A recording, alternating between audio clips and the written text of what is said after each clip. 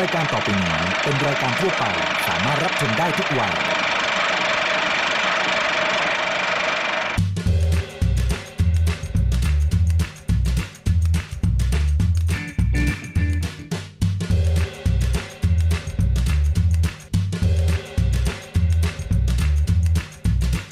สนับสนุนโดยผลิตภัณฑ์ผลไม้ฟรุตเบรดและน้ำเชื่อมแต่งกลิ่นตราเนเจอร์เทส สวัสดีครับ พบกับรายการอดเปรี้ยวกินหวานนะครับ รายการสำหรับสายหวานทุกคนนะฮะที่จะมีเมนูขนมหวานอร่อยๆ แล้วก็เครื่องดื่มชื่นใจชื่นใจมาฝากกันนะครับ ในสไตล์ของอาจารย์ยิ่งศักดิ์และทุกคนในครอบครัวครับ วันนี้นะครับพบกับผมเท็ดดี้นะครับ แน่นอนเลยต้องมีเครื่องดื่มอร่อยๆ มาฝากกันนะครับ นั่นก็คือเมนูสุดฮิตอย่างมอคค่าดาวกอน่าครับ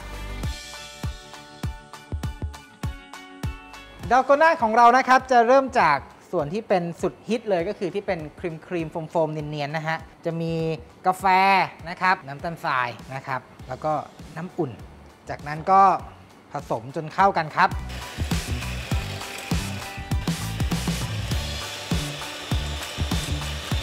สังเกตดูนะฮะคุณผู้ชมตอนนี้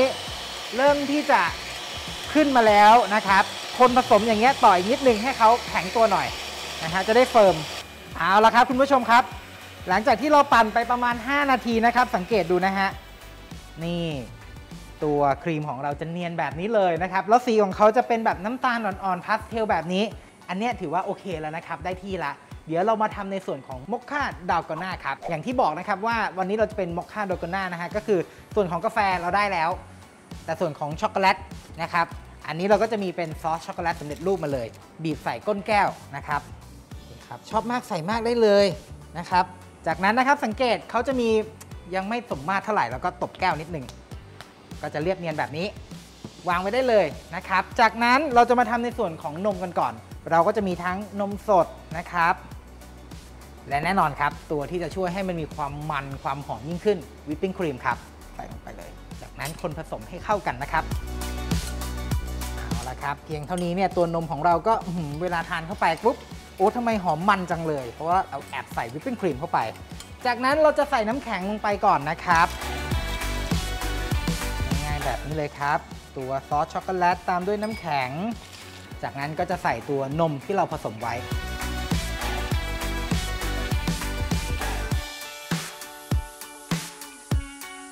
หลังจากใส่ส่วนผสมนมลงไปแล้วนะครับ นี่แหละทีเด็ดของเราที่เมื่อกี้เราเสียเวลาทำมาตั้งนาน นี่ครับ ครีมกาแฟของเรานะฮะ เซ็ตตัวสวยงามเลยใส่ลงไปเลยเอาละครับ หลังจากเราใส่ตัวครีมกาแฟด้านบนแล้วนะครับก่อนเสิร์ฟครับ เตรียมมาพิเศษเลย อันนี้จะเป็นช็อกโกแลตที่เราแกะสลักเป็นรูปดอกไม้ สวยงามแล้วก็ดูดูแพงมากอะ่ะน่ากินสุดๆครับ เรียบร้อยแล้วครับ คุณผู้ชมครับกับเมนูมอคค่าโดกาน่าครับ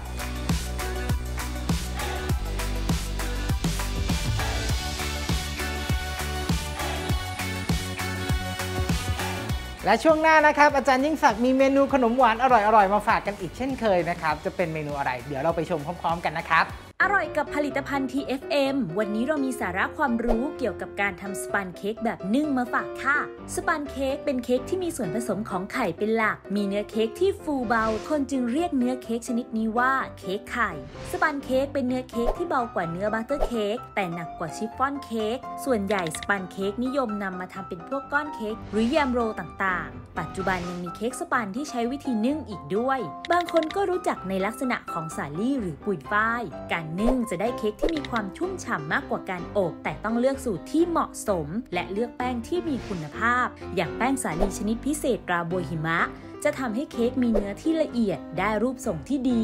เทคนิคและขั้นตอนในการทำสปันเค้กแบบนึ่ง การร่อนแป้งถือว่าสำคัญ เพราะช่วยให้แป้งไม่เป็นเม็ดเวลาผสมกับไข่ การตีส่วนผสมไข่ น้ำ น้ำตาล สารเสริม ควรใช้ไข่ที่แช่เย็นและสดใหม่ ความเย็นจะทำให้ฟองอากาศที่เกิดในระหว่างการตี มีความข้นและมีฟองอากาศที่แข็งแรง ไม่ยุบหรือเหลวง่าย การใส่ส่วนผสมแป้งค่อยๆ ใส่แป้ง หรืออาจแบ่งใส่ประมาณ 3-4 ช่วง ถ้าใส่แป้งเร็วเกินไป ก็จะทำให้แป้งลอยตัวเป็นเม็ด เข้ากับส่วนผสมได้ยาก ใส่ส่วนผสมที่มีไขมัน เช่นนมข้นหวาน จะทำให้เค้กสปันนึ่งมีความนุ่มละมุน และใส่ในขั้นตอนสุดท้าย เพราะส่วนผสมที่มีไขมัน จะทำให้ฟองอากาศของไข่เหลว และควรใช้มือในการคนตะล่อม เพื่อให้ส่วนผสมเข้ากัน และมีความข้นก่อนเทใส่พิมพ์ การนึ่งเมื่อนำเค้กลงนึ่งต้องลดเป็นไฟอ่อนให้น้ำเดือดอยู่ตรงกลางลังถึง ในระหว่างนึ่งไม่ควรเปิดฝาลังถึง เพราะจะทำให้เสียความร้อน เค้กอาจยุบตัวได้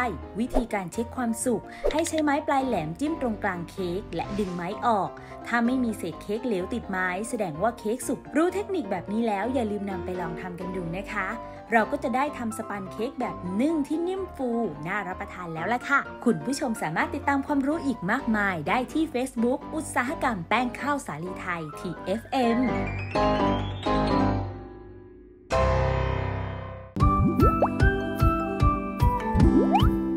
วันนี้เรามีเมนูที่ดีต่อสุขภาพด้วยมิตรผลไลท์ชูการ์อร่อยเต็มที่แคลอรี่นิดเดียว กับเมนูน้ำยำขนมจีน สูตรนี้มีแคลอรี่จากมิตรผล Light Sugar อยู่ประมาณ 37.5 แคลอรี่ ต่อน้ำยำขนมจีนทั้งสูตร โดยทั่วไปหากเราปรุงด้วยน้ำตาลปกติ จะมีแคลอรี่จากน้ำตาลอยู่ที่ 112.5 แคลอรี่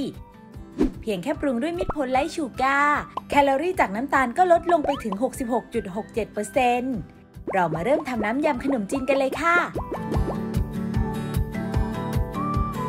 ใส่มิตรผลไลท์ชูการ์ลงในภาชนะ ตามด้วยน้ำปลา น้ำปลาร้า น้ำมะนาวและพริกป่นคนให้เข้ากัน ใส่ขนมจีน หมูหย่อลวก กุ้งลวก ปลาหมึกลวก ถั่วฝักยาว หอมแขกซอยและผักชีฝรั่งซอย คลุกเคล้าให้เข้ากัน ตักยำขนมจีนใส่ภาชนะ โรยพริกขี้หนูแดงซอยและเม็ดกระถิน รับประทานคู่กับผักสด พร้อมเสิร์ฟค่ะ อย่าลืมนะคะ มิตรผลไลท์ชูการ์อร่อยเต็มที่แคลอรี่นิดเดียว